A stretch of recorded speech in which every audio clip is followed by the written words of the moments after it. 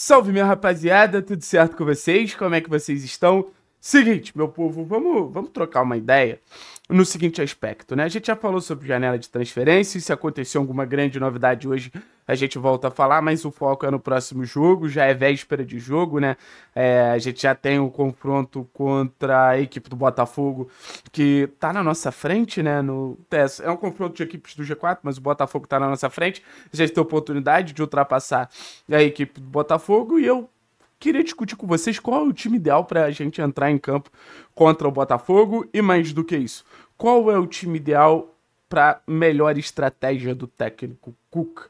Porque a gente sabe que o Atlético, dentro de casa, em muitos momentos, já tem uma estratégia mais reativa. A gente sabe que o Atlético, dentro de casa, em muitos momentos, já tem uma estratégia mais voltada para esse jogo de transição fora de casa com o estádio cheio, confronto de parte de cima da tabela, deve ser a estratégia seguida pelo técnico Cuca. Então, a partir do momento que a gente sabe que a gente vai para um jogo de transição, qual é a melhor escalação?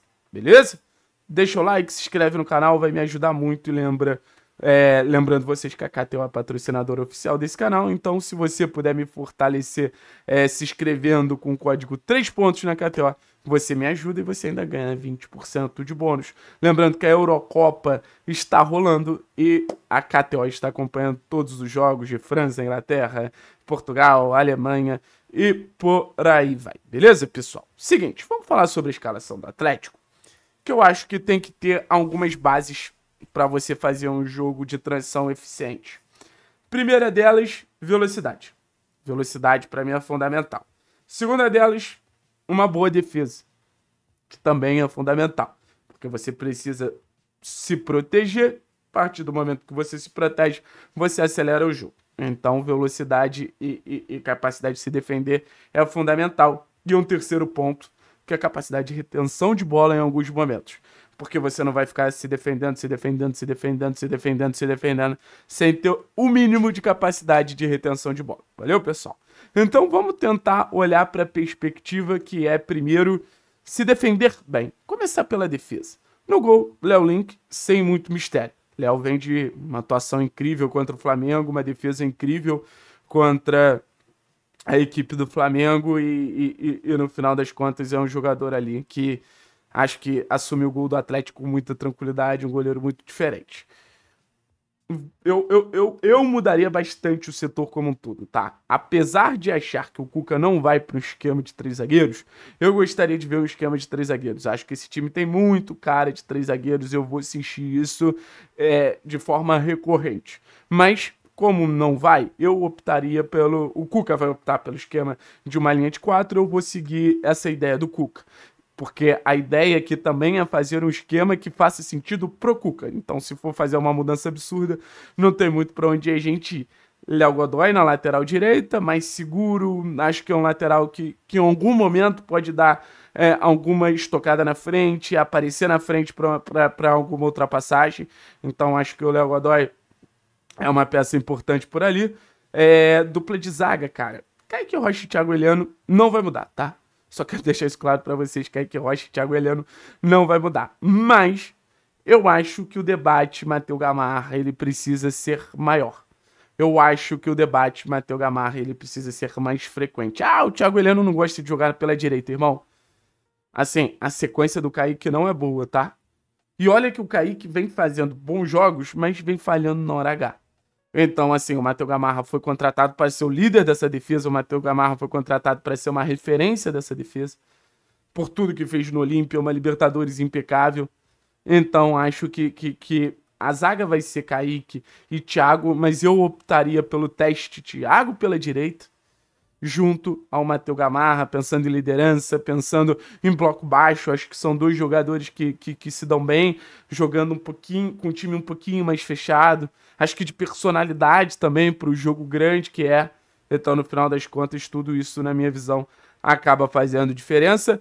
Do lado esquerdo, não tem muito mistério que o Lucas Esquivel, para mim, é uma peça importantíssima desse time do Atlético. Acho um jogador criativo, acho um jogador com muita capacidade de, assim, de, de num cenário que, que, que a gente pode estar tendo dificuldade ali de criar. O, o Lucas Esquivel tira bons coelhos da cartola. Atenção defensivamente, porque o jogo dos pontos do Botafogo é muito forte. Então esses laterais eles precisam sempre ter uma dobrinha ali por perto para não ficar muito vulneráveis. Mas a minha linha defensiva seria essa. As mudanças seriam o Léo Godoy no lugar do Madison, o Kaique cedendo espaço ao Matheus Gamarra. Agora a gente vai para o meio campo. O meio campo, eu pensei muito em como montar esse meio campo e eu vou trazer uma referência da atual campeã mundial.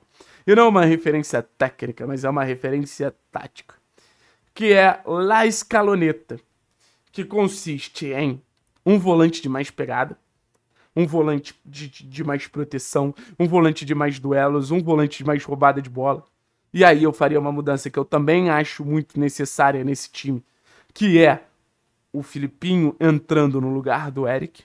Acho que o Filipinho nesse momento entrega mais todo esse cenário de, de, de, de proteção, de, de, de capacidade de disputa, que é muito importante eu, eu pelo menos considero muito importante, né? Aí você tem um volante de mais controle, que é o Fernandinho. O Fernandinho para um jogo de transição é muito importante porque ele faz esse papel de arco. Lança a bola a todo momento. E a gente vai precisar desse, desse, é, desse personagem para lançar bola a todo momento, para encontrar os jogadores que agridem o espaço. Aí do lado do campo, o jogador que é barra volante, barra é, meia, barra ponto. Um jogador muito versátil. Que naquela Argentina, é, se eu não me engano, era até o Depou. Mas aí eu pensaria no Christian. Um jogador para variar lado do campo, centro do campo, abrir o corredor pro, pro, pro Lucas Esquivel. Acho que o Christian veio num bom momento, transitando em um jogo mais criativo, um jogo de mais combate. Aí você tem do outro lado, um jogador mais agressivo. E eu gostaria de ver o Coelho pela direita. Porque o, Botafogo tem um lateral que apoia muito, que é o Cuiabano. Eu acho que a gente pode encontrar um espaço legal com o Coelho nas costas do Cuiabano, fazendo o, o, o que eu acredito que o Coelho faz de melhor. O Coelho ele faz de melhor é, essa bola no fundo e cruzamento, essa bola no fundo e cruzamento, essa bola no fundo e cruzamento. Eu acho que quando ele tá pela esquerda, ele fica muito em dúvida se ele traz para dentro para bater ou se ele leva a bola para o fundo. E na frente, uma dupla que eu acho que precisa sempre estar tá junto. É, é, é, a maior dupla da história do futebol, né? Que é o 9 e o 10, né? Quantas duplas históricas de 9 e 10 já, já, já fizeram parte? Eu não abriria mão da capacidade criativa do Bruno Zapelli, mesmo em um jogo de transição. Eu acho que o Bruno Zapelli vem entrando, vem se doando mais, vem lutando mais, o que é necessário. Mas eu acho também, por exemplo, no melhor jogo de transição que a gente fez até agora, que foi contra o Palmeiras, o Bruno Zapelli era um epicentro para receber essa bola e abrir, receber essa bola e abrir, receber essa bola e abrir. Então é um jogador muito importante para conectar centro e lado. E para quando essa bola estiver no centro, ele também criar oportunidade. Volto a dizer, é o jogador que com menos tempo em campo é, é o jogador que precisa de menos tempo em campo para criar mais chances no Campeonato Brasileiro perder todo esse poder criativo do Bruno Zapelli, para mim, é, é inegociável. E na frente eu manteria o Gonzalo Maestriani, apesar do Cuca ter falado que o Pablo se encaixa mais no jogo de transição. Eu não enxergo isso. Eu vejo o, o Maestriani sendo um atacante super possível em um jogo de transição. Super possível em um jogo de transição, porque foi muito assim no América, né? O América, apesar de ser um time ofensivo, que criava bastante, não era aquele time que, porra, empurrava o adversário para trás. Então, o Maestrani, na temporada passada, que foi uma temporada de muitos gols do Maestrani, o Maestrani teve que se virar contra muitos zagueiros, e é aquilo. Cara, Pablo e Maestrani. Pablo pode ajudar mais um detalhe aqui, mas o Maestrani muito voluntarioso. É quando a bola chegar, bicho, aí não tem comparação.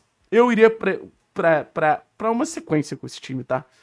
Eu iria para uma sequência com esse time, acho o melhor time possível, acho um time que, que, que o Atlético finalmente pode efetivar encontrar um time titular. É uma aposta que eu faço desde o começo da temporada, esse meio campo com o Fernandinho, Cristian Zapelli. Acho que o Coelho pode ser esse ponta de agressividade. Acho que Godoy e Esquivel nas laterais aumentam o nível ali do setor.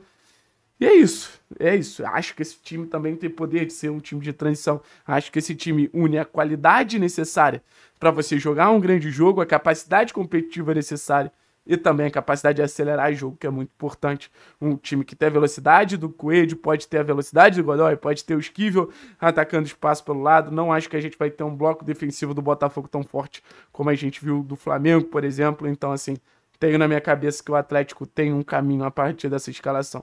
deixa aqui os, os comentários qual seria a escalação ideal de vocês pra gente jogar contra a equipe do, do Botafogo. Que vai ser um jogo muito importante se a gente voltar com uma vitóriazinha. Ai, meu Deus do céu, essa é coisa mais linda do mundo. Valeu? Tamo junto, Heróis.